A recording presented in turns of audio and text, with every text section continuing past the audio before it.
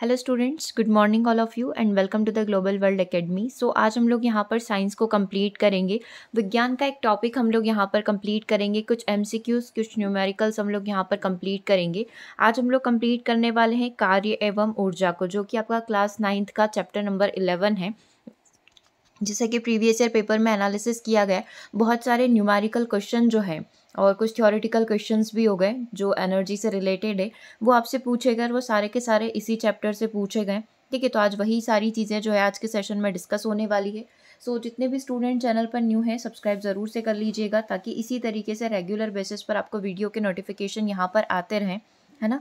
Channel को subscribe ज़रूर से कर लीजिएगा और साथ ही व्हाट्सएप ग्रुप में भी आपको ऐड हो जाना है ताकि कोई भी एग्ज़ाम रिलेटेड अपडेट हो चाहे क्लास की जानकारी हो वो डायरेक्टली आपको व्हाट्सएप के थ्रू भिजवा दी जा सके, ठीक है? और आपका साइंस का टेस्ट सीरीज़ भी अवेलेबल है। जितने भी स्टूडेंट साइंस के प्रिपरेशन करना चाहते हैं टेस्ट सीरीज़ यहाँ पर लगाना चाहते हैं, ठीक है? वन फिफ्टी नंबर का टेस्ट देना चाहते हैं तो ज़रूर से आप विज़िट कर लीजिएगा ऐप को। और साथ ही इसमें जो है टेस्ट सीरीज़ के साथ ही आपको एन समरी प्रोवाइड की जाएगी क्लास सिक्स से लेकर टेंथ तक की, और उसी से रिलेटेड सारे एम भी रहेंगे। ठीक है तो उसी में से आज हम लोग क्लास नाइन्थ का चैप्टर नंबर इलेवन कार्य और ऊर्जा को कंप्लीट करेंगे। ओके स्टार्ट करते हैं सेशन को। देखो, हम लोग यहाँ पर वन लाइनर फॉर्म में चीज़ों को कवर करने का ट्राई करेंगे, है ना, ताकि कम समय में पूरा चैप्टर आपका कंप्लीट हो जाए और सारे जो इम्पोर्टेंट फैक्ट हैं, उनके बारे में आपको जानकारी मिल जाए। तो कार्य किया जाता है, कब किया जाता है जब एक चलती हुई वस्तु विराम अवस्था में आ जाती है, तब कार्य होता है। ठीक है, कार्य कब होगा? जब भी कोई एक चलती वस्तु विराम अवस्था में आ जाए या फिर वो विराम अवस्था से चलना स्टार्ट कर दे। एक गतिमान वस्तु का वेग परिवर्तन हो या फिर एक वस्तु का आकार परिवर्तन हो। अगर ये सारी चीज़ें हो रही है या इन चारों में से कुछ भी एक हो रहा है तो हम लोग यहाँ पर बोल सकते हैं कि हाँ क्या हो रहा है? कार्य यहाँ पर हो रहा है। ठीक है? क्लियर है, बिल्कुल बेसिक सी बात है कि कार्य क्या होता है। कार्य करने की दशा में क्या होता है, हमें क्या करना पड़ता है? वस्तु पर या तो बल लगाना पड़ता है या वस्तु विस्थापित हो जाए। विस्थापित होना डिस्प्लेस हो जाए मतलब अपने प्लेस से हटकर कहीं और चली जाए। मतलब थोड़ा सा भी स्थान परिवर्तन हुआ है ना तो हम लोग बोल देते हैं कि हाँ क्या चीज़ें हुई है? विस्थापन यहाँ पर हुआ है। ठीक है क्लियर है कार्य करने की दशा और कार्य कैसे होता है। आगे एक नियत बल पर किया गया कार्य जो है, क्या होना चाहिए, ये आपसे बताएँगे। ठीक है कि एक गतिमान वस्तु पर किया गया कार्य जो है एक गतिमान वस्तु कोई भी वस्तु यहाँ पर चल रही है जैसे कि आ, हम लोग बोल सकते हैं गाड़ी यहाँ पर चल रही है ठीक है? तो एक गतिमान वस्तु पर किया गया कार्य जो टोटल वर्क होगा उस पर कितना फोर्स लग रहा है उस गाड़ी को चलाने के लिए कितने बल की कितने फोर्स की आवश्यकता है है ना? तो उस वस्तु पर लगा बल तथा वस्तु द्वारा बल की दिशा में किए गए विस्थापन। कितना विस्थापन हुआ है, उसके गुणनफल के बराबर होती है। यानी कि जो टोटल वर्क होगा टोटल जो कार्य होगा, वो किसके इक्वल होगा? टोटल कितना फोर्स आपको लगा और कितना विस्थापन यहाँ पर हुआ है है ना? तो हम लोग बोल सकते हैं इस तरीके से इसको रिप्रेजेंट किया जाता है। ये कार्य का फॉर्मूला होता है, बल गुणित विस्थापन। कितना विस्थापन यहाँ और कितना बल यहाँ पर लगा है। कार्य एक प्रकार की अधिश राशि है कार्य का मात्रक न्यूटन मीटर होता है या फिर जूल आप इसको यहाँ पर बोल सकते हैं। कार्य का क्या मात्रक होता है? या तो न्यूटन मीटर आप बोलिए या फिर न्यूटन मीटर मतलब कि जूल। ठीक है? ये चीज़ें क्लियर हो गई कार्य को लेकर। आगे बढ़ते अब जूल की बात कर लेते हैं। जूल की अगर डेफिनेशन आपसे पूछी जाए तो आप किस तरीके से इसको डिफाइन करेंगे कि एक जूल क्या होता है? तो जब बल वस्तु को बल की दिशा में एक मीटर विस्थापित करने देता है या कर देता है तो एक जूल कार्य यहाँ पर होता है। जब कोई भी फोर्स फोर्स में आप फोर्स को आप कैसे रिप्रेजेंट करते हैं? न्यूटन की टर्म्स में रिप्रेजेंट करते हैं। तो जब बल वस्तु को बल की ही दिशा में, उसी ही डायरेक्शन में एक मीटर विस्थापित कर देता है मतलब कितना कार्य हुआ है? एक जूल यहाँ पर कार्य हुआ है। है ना? वही बोला है कि बल की दिशा में जो है, एक मीटर यहाँ पर स्थापित कर देता है तो एक जूल कार्य हुआ है। इसीलिए या तो इसकी यूनिट जो होती है, न्यूटन मीटर होती है एन एम होती है या फिर डायरेक्टली आप इसको एक जूल यहाँ पर बोल देते हैं। ठीक है, इतना क्लियर है? यहाँ तक क्लियर हो गया तो फिर हम लोग आगे बढ़ेंगे। नेक्स्ट टॉपिक पर हम लोग यहाँ पर मूव करते हैं। ओके चलिए, आगे बढ़ेंगे। धनात्मक, ऋणात्मक तथा शून्य कार्य अच्छा कार्य आपको समझ में आ गया। देखो, इस पूरे चैप्टर को समझने के लिए आपको ज़रूरी है कि आपको कार्य और जो हम लोग ये देख रहे हैं कि किस तरीके से ये कार्य करती बल और स्थापन के बारे में थोड़ी सी जानकारी हो। एक काम करते इन शॉर्ट जो स्कूल टाइम में पढ़ा, उसको थोड़ा सा बस एक मिनट लेंगे और हम लोग फटाफट से रिवाइज कर लेंगे, ठीक है? मैं आपसे क्वेश्चन पूछती जाती हूँ, आप उनका आंसर सोचते जाइएगा। मीरा एक तालाब में तैर रही है है ना? बस आपको बताना क्या है, मैं आपसे पूछूँगी, मैं आपको कुछ कार्य बताऊँगी। आपको ये बताना है कि यहाँ पर फोर्स हो रहा है क्या? मतलब हिंदी में लिख लेते हैं। मतलब यहाँ पर बल लग रहा है क्या? दूसरा, यहाँ पर कोई विस्थापन हुआ है क्या? मैं आपकी हेल्प भी करती जाऊँगी साथ में, लेकिन अपना दिमाग लगाना, इस बारे में सोचना, क्योंकि जो पूरा चैप्टर है कार्य का और इसी पर संबंधित है, अगर ये पॉइंट आपको समझ में आ गया मतलब पूरे चैप्टर में इवन न्यूमेरिकल में भी आपको कोई भी दिक्कत नहीं आएगी। ठीक है वन बाय वन करके तीन से चार क्वेश्चन स्टार्ट करते हैं।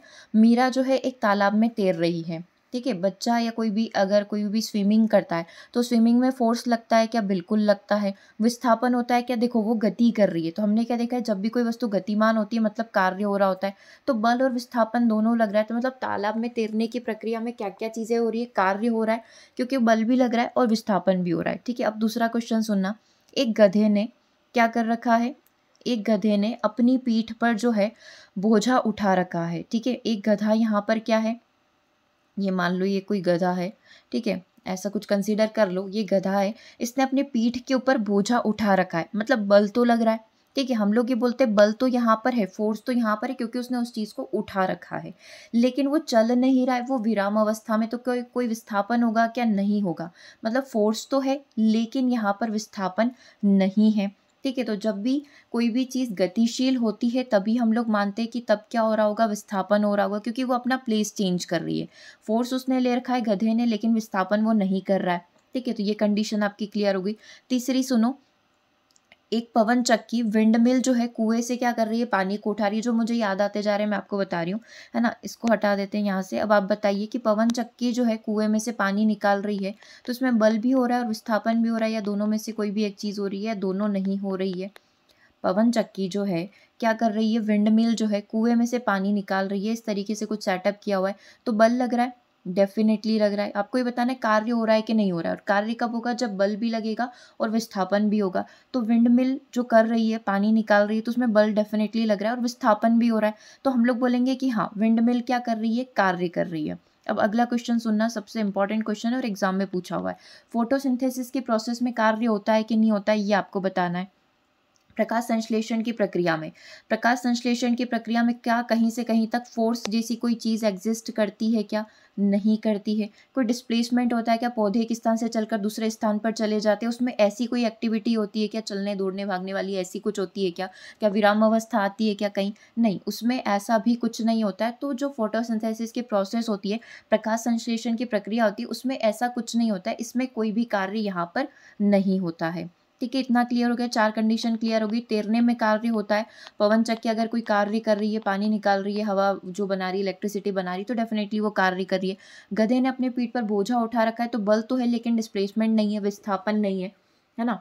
अब एक इंजन जो है ट्रेन को खींच रहा है, एक इंजन ट्रेन को खींच रहा है, कोई गति हो रही है है ना? और बल भी लग रहा है मतलब वहाँ पर कार्य हो रहा है।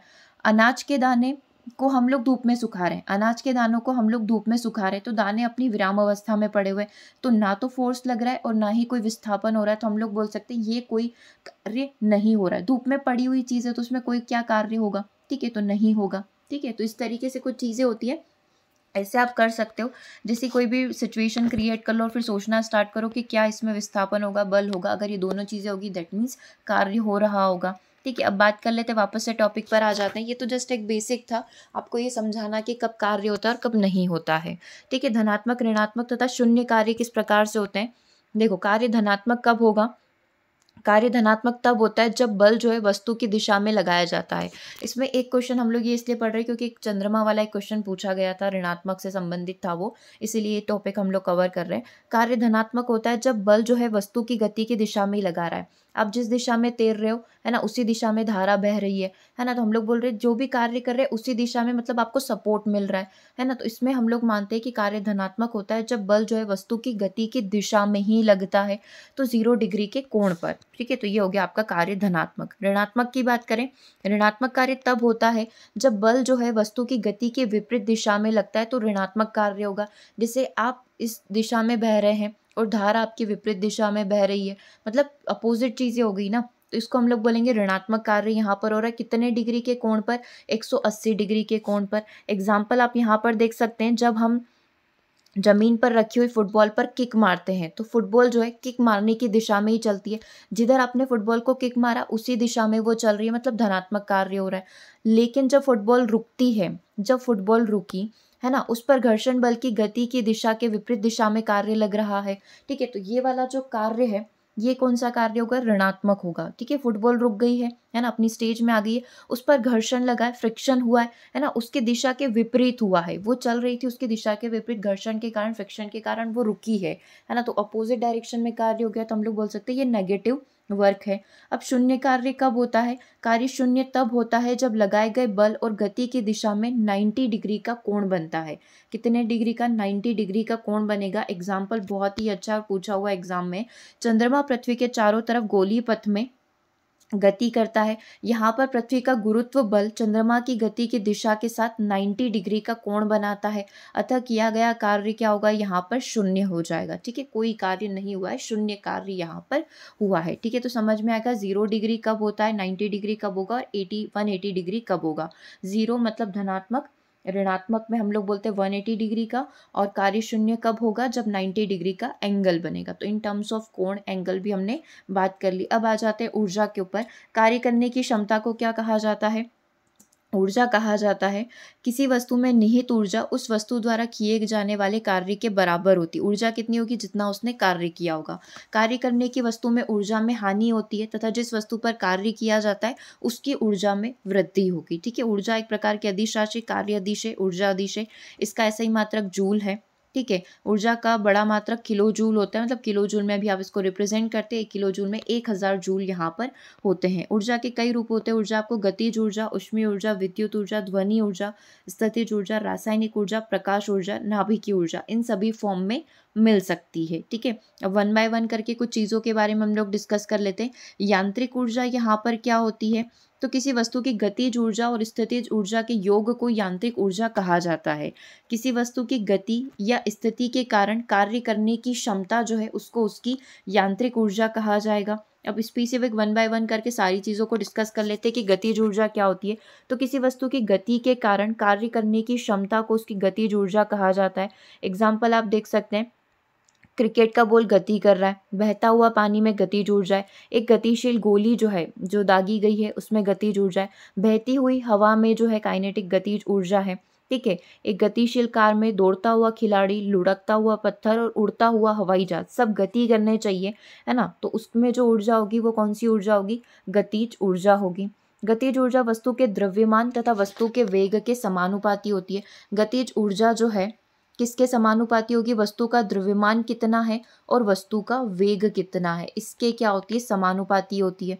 ठीक है तो इस चीज़ को आपको ध्यान रखना है। अब इसका सूत्र बनाना है तो सूत्र आप कैसे बनाएँगे? यदि एम द्रव्यमान की एक वस्तु जो है यू वेग से यहाँ पर गतिशील है। एम द्रव्यमान जिस किसी वस्तु का द्रव्यमान हो गया, जो गोली दागी गई है एम द्रव्यमान की और वो यू वेग से यहाँ पर गति कर रही है और इस पर एक फोर्स लगा हुआ है एफ़ ठीक है? विस्थापन की दिशा में ही लगता है और ये वस्तु जो है, इस दूरी तक यहाँ पर विस्थापित हो जाती है। मतलब कितने किलोमीटर, कितने मीटर की दूरी उसने तय करी, है ना? तो इसका वेग पहले यू था, अब कितना हो जाएगा? वी हो जाएगा। प्रारंभिक वेग यू अंतिम वेग जो है वी हो गया।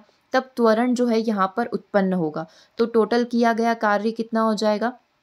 एफ़ एस वर्क तो वही रहेगा कि कितना बल लगा है और कितना विस्थापन यहाँ पर हुआ है, ठीक है? और एफ़ कितना हो जाएगा कि आपने यहाँ पर देखा कि टोटल एम द्रव्यमान की एक वस्तु थी और त्वरण हुआ है, त्वरण यहाँ पर उत्पन्न हुआ है, हम लोग उसको ए से रिप्रेजेंट करें, क्योंकि वस्तु गतिशील थी स्टार्टिंग का जो वेग था या प्रारंभिक वेग था यू और अंतिम वेग कितना हो गया? वी हो गया, ठीक है? तो इस तरीके से हम लोग बोल सकते हैं कि गतिज वर्जु गतिज ऊर्जा जो है वस्तु का द्रव्यमान तथा वस्तु के वेग के क्या होती है? समानुपाती होती है। अब स्थितिज ऊर्जा की बात कर लेते हैं। किसी वस्तु को, किसी वस्तु में उस वस्तु की स्थिति या उसके आकार में परिवर्तन के कारण जो कार्य करने की क्षमता होती है, उसे ही उस वस्तु की स्थितिज ऊर्जा कहा जाता है। ठीक है, क्या बोला गया उस वस्तु की स्थिति, है ना? उसकी स्थिति क्या है या उसके आकार में जो कोई परिवर्तन हुआ है, उसकी जो कार्य करने की क्षमता है, वही क्या कहलाएगी? उसकी स्थितिज ऊर्जा कहलाएगी। एग्ज़ाम्पल आप ले सकते हैं। बाँध में जमा किया गया पानी या पृथ्वी से ऊँची स्थिति के कारण टरबाइन को घुमा सकता है, क्योंकि ये पृथ्वी से काफ़ी हाइट पर है, ऊंचाई पर होता है है ना? ज़मीन से हाइट पर होगा तो डेफिनेटली ये टरबाइन को घुमाने की शक्ति रखता है, क्योंकि पानी में इतनी स्थिति ऊर्जा होती है, जिससे विद्युत धारा यहाँ पर उत्पन्न होती है।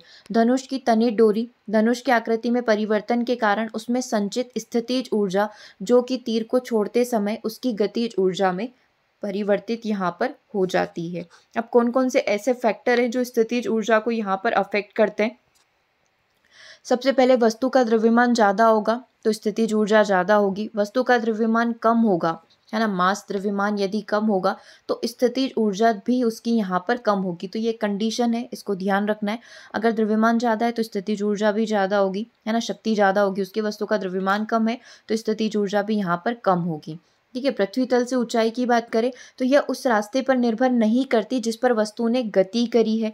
वस्तु की पृथ्वी तल से ऊंचाई ज़्यादा होगी तो स्थितिज ऊर्जा ज़्यादा होगी, जिसे बाँध में टरबाइन घुमाने में बहुत हेल्प मिलेगी।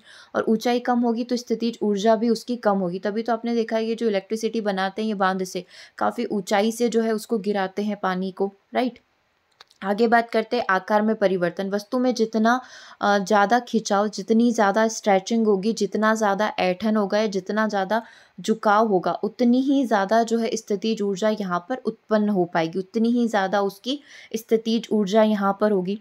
तो किसी ऊंचाई पर वस्तु की स्थितिज ऊर्जा जो है किस किस पर डिपेंड करती है? यदि कोई एम द्रव्यमान की एक वस्तु है, जिसको पृथ्वी से ऊपर हमने एच ऊंचाई तक लेकर गए हैं तो उस पर जो है पृथ्वी का गुरुत्व बल जो है कार्य करेगा। ठीक है, एक तो एम उस वस्तु का मास और उस पर जो लगेगा, गुरुत्व बल लगेगा। और कितनी ऊंचाई तक आपने उठाया है, वो चीज़ यहाँ पर कार्य करेगी। कितने मीटर, कितने किलोमीटर तक आप उसको लेकर गए हैं, ठीक है? तो वस्तु को उठाने के लिए गुरुत्व बल के विपरीत दिशा में आपको कार्य करेगा, क्योंकि गुरुत्व बल जो होगा, किसी भी वस्तु को हमेशा नीचे की तरफ़ खींचेगा। तो अंततः किया गया कार्य क्या होगा? बल, गुणित, विस्थापन, हम लोग बोल सकते हैं टोटल फोर्स कितना लगेगा? एक तो एम और एक गुरुत्व वाला जी और जो विस्थापन हुआ है, कितना हुआ है, कितनी हाइट पर वाला स्थापन हुआ है तो एच तो एम जी एच यहाँ पर आपका फॉर्मूला हो जाएगा। यदि कार्य वस्तु में गुरुत्वीय स्थितिज ऊर्जा के रूप में जो है संचित हो जाएगा तो स्थितिज ऊर्जा यहाँ पर एम जी एच के रूप में शो हो जाएगी और जो जी जो है वो क्या है, गुरुत्वीय त्वरण यहाँ पर कहलाएगा, जिसकी वैल्यू कितनी होती है, या तो क्वेश्चन में दिया हुआ रहेगा टेन या फिर आप नाइन पॉइंट एट कंसिडर कर लेना। चलो, अब ऊर्जा के रूपांतरण की बात कर लेते हैं। ऊर्जा को एक रूप से ऊर्जा के दूसरे रूप में परिवर्तन करना ही क्या कहलाता है? ऊर्जा का रूपांतरण कहलाता है। जैसे कि एक निश्चित ऊंचाई पर पत्थर में स्थिति जो ऊर्जा उत्पन्न होती है, जब यह नीचे गिराया जाता है तो जैसे जैसे ऊंचाई कम होती जाती है वैसे वैसे जो पत्थर है उसकी स्थितिज ऊर्जा भी यहाँ पर कम होती है, लेकिन नीचे गिरते समय पत्थर का वेग बढ़ने के कारण पत्थर की जो गतिज ऊर्जा स्थितिज ऊर्जा जैसे जैसे हाइट कम होगी स्थितिज ऊर्जा कम होगी, लेकिन यहाँ पर वेग बढ़ेगा वेग बढ़ेगा तो डेफिनेटली जो उसकी गतिज ऊर्जा है, वो यहाँ पर इंक्रीज हो जाएगी। जैसे ही पत्थर ज़मीन पर पहुँचेगा, इसकी स्थितिज ऊर्जा शून्य हो जाएगी और जो गतिज ऊर्जा है, वो यहाँ पर मैक्स हो जाएगी। इससे क्वेश्चन बनता है कि ठहरा हुआ कोई सामान है तो उसकी स्थिति और गतिज ऊर्जा को बताओ तो वह वैसी वाली क्वेश्चन आपके बनेंगे, ठीक है? तो इस प्रकार हम लोग बोल सकते हैं कि सारी स्थितिज ऊर्जा जो है किसमें कन्वर्ट हो गई है? गतिज ऊर्जा में कन्वर्ट हो गई यहीं से ऊर्जा का रूपांतरण आता है कि आप ऊर्जा को नष्ट नहीं कर सकते, बना नहीं सकते, केवल क्या कर सकते, एक रूप से दूसरे रूप में परिवर्तित कर सकते हैं, ठीक है? तो हम लोग यहाँ पर बोल सकते हैं कि लास्ट में क्या हुआ? स्थितिज ऊर्जा शून्य ना होते हुए स्थितिज ऊर्जा गतिज ऊर्जा में रूपांतरित हो गई है। इसी से बना है ऊर्जा संरक्षण का नियम कि जब ऊर्जा का एक रूप से ऊर्जा के दूसरे रूप में रूपांतरित किया जाता है तो ऊर्जा की कुल मात्रा जो है अचर वहाँ पर रहती है। ऊर्जा की न तो उत्पत्ति की जा सकती है, न ही विनाश किया जा सकता है। हालाँकि ऊर्जा रूपांतरण के दौरान कुछ ऊर्जा, जैसे उष्मी ऊर्जा या ध्वनि ऊर्जा के रूप में जो है वो बेकार हो जाती है। मतलब थोड़ा सा ट्रांसफॉर्मेशन के समय व्यय हो जाता है, नष्ट हो जाती है, लेकिन निकाय की जो टोटल ऊर्जा है वो क्या रहती है? अपरिवर्तित रहती है। एक वस्तु के मुक्त पतन के समय ऊर्जा का संरक्षण का नियम किस प्रकार से कार्य करता है? एम द्रव्यमान की वस्तु है। हाइट कितनी है? एच है तो उस पर जो फोर्स लगेगा वो कितना लगेगा? एम जी एच लगेगा। ठीक है एक वस्तु को मुक्त रूप से गिराया जा रहा है तो किस तरीके से कार्य होगा? जैसे जैसे वस्तु नीचे गिरती जाएगी, उसकी हाइट कम होती जाएगी। जैसे जैसे हाइट कम होगी, है ना? वो जैसे जैसे हाइट कम होगी डेफिनेटली स्थिति ऊर्जा भी कम होगी। ऊंचाई एच पर गतिज ऊर्जा जो है, जब वो मैक्स ऊंचाई पर होता है तो वहाँ पर जो है, उसकी जो गतिज ऊर्जा है, वो शून्य हो जाएगी। लेकिन जैसे जैसे नीचे आते जाएँगे, गतिज ऊर्जा यहाँ पर जैसे जैसे वेग बढ़ेगा, गतिज ऊर्जा यहाँ पर बढ़ती जाएगी। मुक्त पतन के समय किसी भी बिंदु पर स्थितिज और गतिज ऊर्जा का योग समान रहता है। ठीक है? तो हम लोग ये बोल सकते हैं, आपकी स्थितिज ऊर्जा हाफ़ एम वी स्क्वायर ठीक है और ये एम दोनों क्या रहेंगे? अचर यहाँ पर रहेंगे, यानी कि गतिज ऊर्जा प्लस स्थितिज ऊर्जा जो रहेगी यहाँ पर अचर रहेगी, ठीक है? हाफ़ एम वी स्क्वायर वही एम आपका मास वी से आपका टोटल वेग हो जाएगा और जी यहाँ पर आपका गुरुत्वीय त्वरण और एच किस हाइट तक आपने वस्तु को पहुँचाया और फिर वहाँ से वो गिरेगी, ठीक है? तो ये चीज़ हो गई कि ये वाले फॉर्मूलाज फिर आपके काम आएँगे, है ना? चलिए, कार्य करने की दर शक्ति, कार्य करने की दर को शक्ति कहते हैं या ऊर्जा रूपांतरण की दर को जो है शक्ति कहते हैं। डेफिनेटली ऊर्जा का रूपांतरण हुआ तो वो भी क्या होगी? शक्ति होगी। विद्युत उपकरण की शक्ति की बात करें तो विद्युत उपकरणों के द्वारा विद्युत ऊर्जा को उपयोग करने की दर को विद्युत उपकरण की शक्ति यहाँ पर कहा जाता है। शक्ति का बड़ा मात्रक क्या है? किलोवाट यहाँ पर होता है। एक किलोवाट में कितने होते हैं? एक हज़ार वाट होते हैं और वाट को कन्वर्ट करोगे तो जूल प्रति सेकंड। ठीक है? इससे क्वेश्चन बना हुआ है, वो भी अभी हम लोग कंप्लीट कर ही लेंगे। ऊर्जा का व्यावसायिक मात्रक, ऊर्जा जो है इसका जो व्यावसायिक मात्रक है, जूल है है ना? इसका एक छोटा मात्रक है, लेकिन ऊर्जा की ज़्यादा मात्रा में प्रयोग यदि हमें करना होता है तो हम लोग जूल में उसको रिप्रेजेंट नहीं कर सकते। इसके लिए हमें किलोवाट घंटा का प्रयोग करना होता है। इन जनरल छोटी छोटी चीज़ों के लिए आप जूल बोल सकते हो, लेकिन बड़ी मात्रा में आपको प्रयोग करना है तो वहाँ पर आपको किलोवाट घंटा का प्रयोग करना पड़ेगा। अब ये एक किलोवाट घंटा यूनिट कैसे बनी है? जब एक किलोवाट शक्ति का विद्युत उपकरण एक घंटे के लिए उपयोग में लाया जाता है तो एक किलोवाट घंटा ऊर्जा व्यय होती है। अपने शायद जब न्यूमेरिकल आपने एन से किए होंगे, है ना? वहाँ पर आपने देखा होगा कि चार डिफरेंट डिफरेंट मीटर यहाँ पर लगाए हुए हैं। उनसे टोटल जो खपत कितनी हो रही है, उसको निकालिए। तो उसमें हमने किलोवाट घंटा का प्रयोग किया था। ठीक है तो यही लिखा हुआ है कि विद्युत उपकरण एक घंटे में उपयोग में लाया जाता है। तब एक किलोवाट घंटा जो है टोटल एनर्जी जो है यहाँ पर व्यय होती है। ठीक है? किलोवाट घंटा तथा जूल में संबंध किस प्रकार का होता है? तो एक किलोवाट घंटा ऊर्जा, ये एक किलोवाट घंटा ऊर्जा वह मात्रा होती है जो एक किलोवाट प्रति घंटे की दर से हर एक घंटे में कितना व्यय हो रहा है ऊर्जा का? एक किलोवाट व्यय हो रहा है, ठीक है? जैसे कि अब हम लोग घर में टीवी जितनी भी चीज़ें चल रही तो एक घंटे में जितनी भी ऊर्जा व्यय हुई है वो कितनी कहलाएगी? एक किलोवाट यहाँ पर कहलाएगी। इस तरीके से हम लोग उसको यहाँ पर कैलकुलेट करेंगे। देख लो, यहाँ पर क्वेश्चन भी साथ के साथ आ ही गया है। एक किलोवाट घंटा में एक किलोवाट इंटू एक घंटा ठीक है, एक किलोवाट में कितने होते हैं? एक हज़ार होते हैं। तो एक हज़ार इंटू एक घंटा हो गया। ठीक है, और एक घंटे में कितने सेकेंड होते हैं? एक घंटे में साठ मिनट होते हैं और साठ मिनट में साठ सेकेंड होते हैं। मतलब छत्तीस सौ सेकेंड हो गए। तो ये इस तरीके से इसको हम लोग कन्वर्ट करेंगे। तो हम लोग कुछ इस तरीके से इसको बोल सकते हैं। Three point six into ten to the power कितनी हो जाएगी ये? सिक्स जूल यू, यूनिट यहाँ पर हो जाएगी ठीक है? अभी थर्टी सिक्स से हमने इसको क्या कर दिया? और इजी बनाने के लिए थ्री पॉइंट सिक्स यहाँ पर कर दिया और यहाँ पर पाँच ज़ीरो है। हमने एक दशमलव लगाया थ्री पॉइंट सिक्स कर दिया ठीक है? तो आप याद रख सकते हैं कि किलोवाट घंटा को यूनिट में कैसे कन्वर्ट किया जाता है? तो three point six into ten to the power six joule ठीक है अब अगर क्वेश्चन एग्ज़ाम में आपसे पूछा जाता है, एक किलोवाट घंटा में कितने जूल होते हैं तो अब आप ये देख लीजिए, एक किलोवाट में कितने होते हैं? एक हज़ार वॉट होते हैं। ठीक है तो एक हज़ार वॉट आपने निकाल लिए, घंटे को कन्वर्ट करेंगे तो आप कितना कर लेंगे? थर्टी सिक्स कर लेंगे। जब आप इसको कन्वर्ट करेंगे तो आपका आंसर क्या आ जाएगा? Three point six into ten to the power six joule ठीक है? यही हमने क्वेश्चन में देखा और इसी को हमने सॉल्व किया और यही एग्ज़ाम में आपसे क्वेश्चन भी पूछ लिया गया है। तो एक किलोवाट घंटा इंटू एक घंटा हो जाएगा और इस तरीके से आप इसको सॉल्व कर लेंगे। नेक्स्ट क्वेश्चन देखिए, एक हॉर्स पावर का मान कितने बराबर होता है? तो एक हॉर्स पावर में सात वॉट होते हैं। ठीक है तो डी आंसर आपका करेक्ट हो जाएगा। किसी एच मीटर की ऊंचाई पर स्थित वस्तु में संचित ऊर्जा कौन सी होती है? एच मीटर की ऊंचाई पर वस्तु स्थित है। तो उसमें कौन सी ऊर्जा होगी? स्थितिज ऊर्जा होगी, गतिज ऊर्जा होगी, गुरुत्वीय होगी या चुंबकीय होगी? तो अभी हमने पढ़ा एच मीटर पर स्थितिज और गतिज ऊर्जा के बारे में। जब वस्तु एच मीटर पर अपनी मैक्सिमम हाइट पर पहुँच चुकी है तो वहाँ पर उसकी जो स्थितिज ऊर्जा है, वो कितनी हो जाएगी? मैक्सिमम हो जाएगी। लेकिन यहाँ पर, इसी पॉइंट पर गतिज ऊर्जा जो है हाफ़ एम वी स्क्वायर वो आपका शून्य हो जाएगा। जैसे जैसे धीरे धीरे आप नीचे आते जाएँगे स्थितिज ऊर्जा कम होती जाएगी। जस्ट बिकॉज़ आप नीचे आ रहे हैं, वस्तु का वेग जो है वेलोसिटी जो है इंक्रीज होगी। गतिज ऊर्जा यहाँ पर बढ़ती जाएगी और एट दी लास्ट पृथ्वी पर जब ये पहुँचेगी तो पूरी की पूरी स्थितिज ऊर्जा जो है गतिज ऊर्जा में कन्वर्ट हो जाएगी। यही थ्योरी अभी आपने पढ़ी, ठीक है? शक्ति का ऐसा ही मात्रक क्या होता है? वॉट जूल टेस्ला या ओम वॉट होता है? अभी आपने पढ़ा। कार्य का ऐसा ही मात्रक क्या होता है? कार्य का ऐसा ही मात्रक जूल होता है या फिर न्यूटन मीटर होता है? तो ऐसा ही मात्रक तो क्या होता है? जूल होता है। ठीक है? जब एम द्रव्यमान की एक वस्तु को एच ऊंचाई तक उठाया गया तो उसमें संचित होने वाली स्थितिज ऊर्जा जो है कितनी होगी? एम द्रव्यमान की वस्तु है, उसको एच ऊंचाई तक उठाएँगे, वहाँ पर गुरुत्वीय त्वरण भी काम करेगा मतलब कितनी हो जाएगी? एम जी एच हो जाएगा, ठीक है? और स्थिति ऊर्जा कितनी होती है? हाफ़ एम वी स्क्वायर होती है। सॉरी स्थिति ऊर्जा तो हमने अभी देख लिया एम जी एच और गतिज ऊर्जा होती है आपकी हाफ़ एम वी स्क्वायर ठीक है? चलिए, कार्य का सूत्र कितना होता है? बल इंटू विस्थापन होता है, हमने अभी देख लिया, ठीक है? तो इस चीज़ को ध्यान रखिएगा, बल इंटू विस्थापन होता है, वही गधे और नाव वाला एग्ज़ाम्पल करके हमने अभी इसको समझा था। एम द्रव्यमान की एक वस्तु को एच ऊंचाई तक उठाया गया है तो इसमें कुल कार्य है वो कितना होगा? एम जी एच होगा, वही वापस से एम जी एच हो जाएगा, है ना? एम जी और एच एच ऊंचाई तक उठाया, गुरुत्व जो है, बल यहाँ पर कार्य करेगा। नेक्स्ट क्वेश्चन क्योंकि ऐसी स्थिति में किया गया कार्य, वही स्थिति ऊर्जा के बराबर ही होता है। शक्ति क्या है? कार्य करने की क्षमता है, कार्य करने की दर है, ऊर्जा का एक रूप है या अपने आप में एक ताकत है तो कार्य करने की दर को ही क्या कहा जाता है? शक्ति कहा जाता है।